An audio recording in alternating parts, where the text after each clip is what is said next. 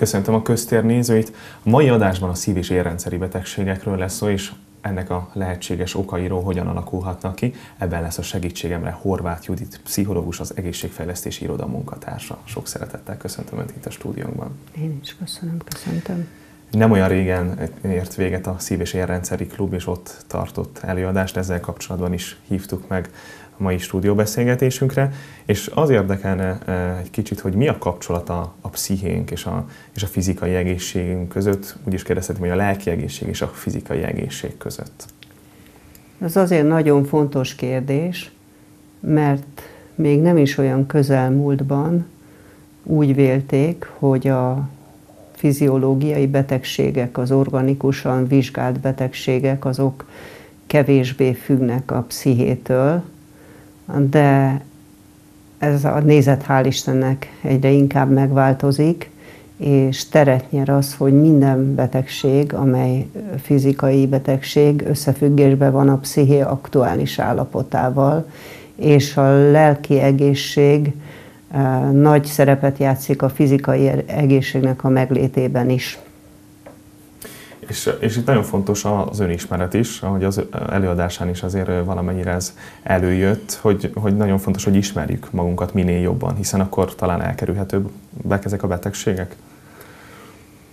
Igen, hát az önismeret, mondtam is abban az előadásban, hogy egy élethosszig tartó munka, és mondhatnám, hogy mindenkire nézvést kötelező, mert egyfolytában változunk, a lélek az egy végtelen birodalom, és minden egyes információ, impulzus, inger nyomot hagy a lelkünkön.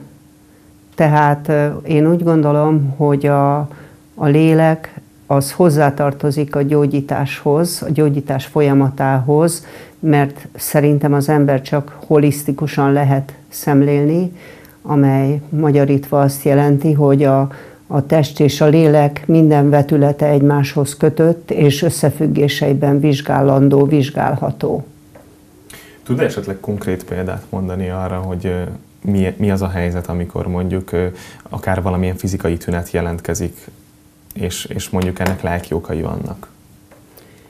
Nagyon sokszor van, hogy csak egy jelenség szintjén tapasztalja az illető, de van, ahol betegséggé változik, és vannak az úgynevezett pszichoszomatikus betegségek, amelyeknél egyértelműen bebizonyítható, hogy a keletkezésükben leginkább a psziché játszik szerepet. Hát mondanék egy példát, egy kamasz, kamaszokkal foglalkozom egyébként általában, nagyon rossz családi viszonyok között élt, ezen nem anyagi viszonyokat értek, hanem a család együttműködését, kommunikációját, egymással való viszonyát, és ez a fiú egyszer csak elkezdett panaszkodni, hogy neki hevesen ver a szíve, e, nem jól érzi magát, nem tud rendesen sportolni, mert ugye gyorsan le kell állnia, tapasztalta, hogy a keze reszketni kezd, gyakran fáj a feje, szédül, és hát ez sajnos későbbiekben egy elég kemény pánikbetegségbe torkollott, amelyet aztán nem organikus orvos gyógyított, hanem pszichiáter kezelt. És ki is derült, hogy a fiú betegségének az oka a hatalmas családi feszültség volt, és ezt mintegy ráengedte a szervezetére, és a szervezetben kezdett ez dolgozni, és ezért lett a fiú beteg. Szerencsére ma már egészséges, bár ennek a gyógyítása egy elég hosszú folyamat. Mik azok a belső feszültségek, akár szorongásra gondolok itt, bármi olyasmi, ami, ami konkrétan szív- és érrendszeri betegséghez vezethet? Igen, hát Seje professzor eh, nagy munkájában a stresszről fejtett ki hatalmas gondolatokat, egy apró félreértést azért eloszlatnék, mi minden stressznek hívunk, ami ér bennünket. Jól lehet a rossz stresszt, Seje János distressznek hívja, és amiről mi itt beszélünk, az inkább a distressz. Tehát a rosszul ható stressz, ami nem azonos például azzal a lámpalázzal, amit egy ifjú színész érezhet, ha fölmegy a színpadra, mert ez a stressz, vagy az a fajta stressz, az segíti, hogy gyorsabban kezdjen lobogni, és gyorsabban találja bele magát a szerepébe, és átélje azokat. A distressz az szinte mindig rombol. Tehát ö, olyan feszültségek keletkezhetnek bennünk, ami ugye már említett családi probléma, esetleg egy munkahelyváltás, esetleg egy COVID például, vagy nagyon sok apró feszültség is összeadódhat, amelyek aztán sajnálatos módon fizikai tüneteket kezdenek elokozni, például a szív- és érrendszeri betegségeket is. Gondolom, hogy itt kulcsfontosságú az, hogy hogyan kezeljük ezeket a helyzeteket, hogyan kezeljük a stresszt. Erre esetleg tudná akár néhány, nem tudom, hogy általános, személyes példát, akár tanácsot mondani ezzel kapcsolatban. Hát ez azért nagyon jó kérdés, mert a stresszkezelés nem tartozik az erősségeink közé, itt most nem csak a magyar emberekről beszélek, bár kis hazánkban a depresszív gondolkodás és a feszültségeknek a kezelése, a konfliktuskezelés meglehetősen sokszor még gyerekcipőben jár, nem beszélve az agressziókezelésről. Tehát mi úgy tűnik, nem tudjuk a helyzeteket nyugodtan, hogy is mondjam, kezelni, hanem rögtön fölös mennyiségű agressziót pumpálunk bele, és ez az agresszió tömeg, ez az embert belülről szinte szétrobbantja. Tehát nagyon rossz az agressziókezelésünk. Nagyon sok ember a legkisebb frusztrációra, a gátlásra hihetetlen erős agresszióval reagál. Nézzük például a közlekedést, ahol, ahol a, az autó adta négyszögletes biztonság eredményezi, hogy az az ember, aki esetleg az életében egy visszafogott és félénk és frusztrált valaki, az autóban sátánnál változik, és, és hihetetlenül nagy gondokat tud okozni a közlekedésben. Ezek mind-mind a stressz rossz kezelésének a, az okán keletkeznek ezek a dolgok. Itt említett személyiség típusokat is, illetve, illetve beszéltünk a változásokról, tehát hogy akár munkahelyváltás, akár hogyha valakinek gyermeke születik, ugye nagyon sok változáson megyünk keresztül az életben, és itt most akár csak így a néhányat említettem, de még nagyon-nagyon sok minden van. Személyiségtípustól függ az, hogy ki hogyan tudja kezelni a stresszt, vagy ezek tanulható dolgok? Hát is. is. Nagyon jó, hogyha valaki az alapszocializáció során, tehát az, amikor még kicsi gyerek, olyan módon kezeli a stresszt, ahogy a szülei tanítják rá, ha jól tanítják. Tehát egyrészt van az alapkarakter, mert aki egy olyan valaki, aki temperamentumos és impulzív és folyton pörög, nyilván másként kezeli a stressz, mint egy olyan gyerek, aki kis nyugodt, elgondolkodó, töprengő, nem igazán vállal konfliktust, de azt sem fogadom el, hogy ez nem tanítható. Mert úgy gondolom, hogy a közös érdekünk lenne a stresszkezelés optimális módja.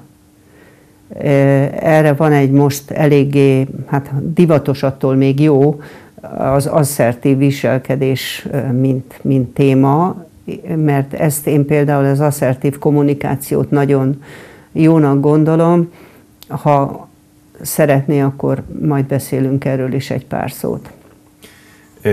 Mi az a szint, amikor már káros lehet, akár mondjuk egy stressz helyzet? Mi, ennek rendszeresnek kell lenni? Mi az, ami már konkrétan akár kihat a, a fizikai egészségünkre? Van-e ilyen határ, amit el tudunk különíteni? Természetesen van. Erre az a példa, hogyha valaki egy nagyon méltatlan munkát végez, hosszú időn keresztül, és semmi kilátása nincs arra, hogy másfelé forduljon, és egy olyan emberrel vagy emberek közösségével dolgozik, akik, akik nem fogadják be, és a munka maga is méltatlan hozzá. Tehát József Attilának van egy nagyon ismert sora, de csak tartalmi idézet lesz, hogy mit érezhet egy olaj, az olaj, hogyha egy palackon lassan-lassan összenyomják. Tehát az az ember, aki soha nem tud a stressztől megszabadulni, az minden nap újra képződik, egyre nagyobb terhet rak rá, és egyszer csak sajnos bekövetkezhet egy olyan robbanás, amely akár az egész személyiséget tartósan megzavarhatja, de megoldódhat, ez a megoldódhat egy kicsit most ironikusan hangzik, úgy is, hogy ez, ezt a stressztömeget bezavarja a testébe, és a, ez a stressz a testét kezdi rongálni, és úgy keres magának valamilyen módon megoldást. Az, mondják, hogy az összes gastrointestinális betegség, tehát az mindazok, amik az emésztő szerv elejétől a végéig keletkeznek, azoknak mindig nagyon-nagyon sokszor a stressz az alapja. Tehát, hogyha azt mondja az ember, hogy nem bírja a gyomrom, ismeri biztos ezt a szólást, vagy, vagy elveszed a levegőmet. Nagyon sok ilyen mondás, szólás van, ami azt jelzi, hogy igenis tudjuk, hogy melyik az a pillanat, amikor valamelyik a testrészünk akár olyan módon birkozik meg a stresszel, hogy megbetegíti a szervezetet.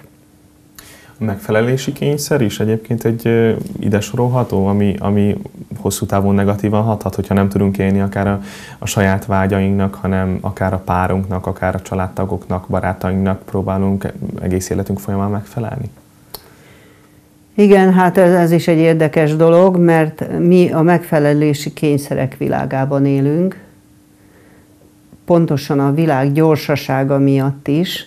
Tehát, hogyha egy ember mindennek, amit rá bíznak, egyszerre tökéletesen meg szeretne felelni, vagy azért, mert félti a munkahelyét, vagy azért, mert a családjának nagyon jót akar, vagy azért, mert nem tud olyan dolgot kitalálni, amiben ő szabadabb lehetne, és perfekcionistává válik, folyamatosan bizonyítékokat termel, folyamatosan tökéletesen szeretné a dolgait csinálni, ez olyan mértékben frusztrálja a személyiséget egy idő után, hogy nagyon sok lelki betegség és fizikai betegség eredőjévé lehet. Hát például, hogyha valaki ilyen perfekcionista, az könnyen átcsap egy kényszerességbe például. Tehát, hogy nem az a típusú szabadság, amit a japánok úgy neveznek, hogy wabi-sabi, a tökéletlenség dicsérete, ehelyett mindig mindenben száz százalékig megfelelni, és könnyű belátnunk, hogy egy ember nem is lehet tökéletes, kell, hogy legyenek olyan pontok, amikor föl tudja magát szabadítani, és, és ha ezek a pontok nem léteznek, akkor igenis megbetegíti magát. Ami eszembe jutott még így a témához kapcsolódóan, hogy gyakran előjön ez, ez a téma talán az iskolákban, az oktatásban, hogy, hogy egyéniségeket szeretnénk nevelni, vagy pedig inkább közösségben gondolkodunk, akár mondjuk az alsósok tekintetében felsősöknél. Mi egyébként ilyen szempontból, akár mondjuk a saját pszichés egészségünk szempontjából a célra vezetőbb, hogyha van egyáltalán erre válasz, hiszen sokszor azt hiszem gondolnánk azt, hogy ha, ha jobban közösségben gondolkodik az ember társaságban, akkor talán az alkalmazkodás is könnyebben megy, ami nyilván stresszmentesebb életet jelent, hogyha könnyebben tudunk alkalmazkodni. Viszont, hogyha egyéniségben gondolkodunk, akkor lehet, hogy ez nehezebb. Hát ez egy azért nagyon ravasz kérdés, mert a válaszom az az, hogy mindkettőnek egyszerre kell megtörténnie, fejlődnie. A, a mai oktatási rendszerben, és itt nem vádakat akarok mondani egyáltalán, tehát nem támadást intéznék a rendszer ellen, nagyon nehéz a nagy létszámok miatt mindkettő egyidejű teljesítése. Tehát ahhoz, hogy egyéniségeket neveljen az iskola, ahhoz nagyon sok plusz idő kéne, ami az adott gyerekkel kapcsolatban adható. Ugyanakkor nagyon fontos, amit mondott, hogy a közösség fejlesztés is a későbbiek során ugye elengedhetetlen lesz, mert rengeteg közösségnek lesz tagja mindenki az élete során.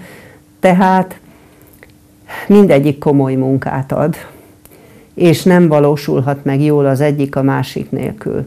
De azért még hozzátenném azt, hogy az első hat évtől, nullától hatig, minden komolyabb pszichológus, itt most a komoly, komolyat igazán komoly pszichológusokra értem, nagyon sok minden megtörténhet, ami ezt a kettős célt már elérhetővé teszi. Tehát ha a gyerek sok személyes foglalkozást kap otthon, ami csak az övé, nem kiszolgálást, foglalkozást, együttgondolkodást, beszélgetést, játékot, stb.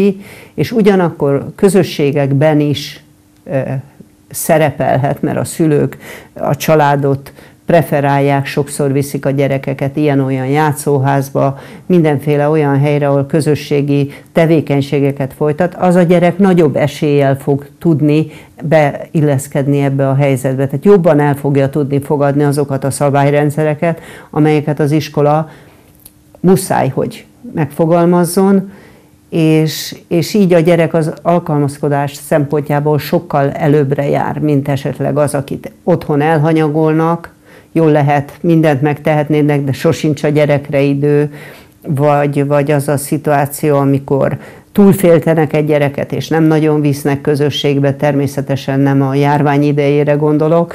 Tehát ez egy ilyen nagyon komplex, bonyolult dolog, és a kérdésre a válasz, hogy mindkettőre egyformán szükség van ahhoz, hogy egy egészséges felnőtt nevelődjék abból a gyerekből. És itt a beszélgetésünk végén egy kicsit rátérnénk az asszertív kommunikációra, hiszen korábban említette. Ha jól sejtem, ez egy kulcs lehet abban, hogy egy kicsit jobban megértsük egymás különbözőségeit. Igen, annak ellenére, hogy divatos, tehát igaz, az a tapasztalatom, hogy nem igazán tudunk jól egymással beszélni, beszélgetni, tárgyalni. Mert ha például ketten beszélgetnek, mondjuk én önnel, én az alatt, mi alatt ön hozzám szól, esetleg már a saját gondolataimat fogalmazom meg, hogy én majd milyen frappáns módon fogok tudni erre válaszolni, de közben három fontos információt, amit ön felé üzen, én azt nem figyelem meg, mert magammal vagyok elfoglalva. És fordítva is lehet. Az asszertív kommunikáció tehát arról szól, hogy nagyon figyeljünk egymásra, ez az egyik. A másik az, hogy tudjunk nemet mondani helyzetekre, mert ezt se tudunk, mert folyton hímelünk, hámolunk, nem igazán tudjuk azt mondani, hogy ne haragudj, én most ezt nem szeretném csinálni. És a harmadik nagyon fontos dolog, hogy feneketlen agressziók tudnak érvényre jutni egy beszélgetésben vagy tárgyalásban. Tehát nagyon rossz az agresszió kezelésünk, tömegeknek rossz. És mindezek, hogyha megtanulódnak, az aktív figyelem, a az engedékeny, de én hangsúlyozó kommunikáció, tehát én is vagyok. Tudjunk nemet mondani, és próbáljuk az agressziókat korábban tartani, akkor azt hiszem már nagy lépést tettünk a felé, hogy asszertíven kommunikáljunk, és sokaknak jót tegyünk.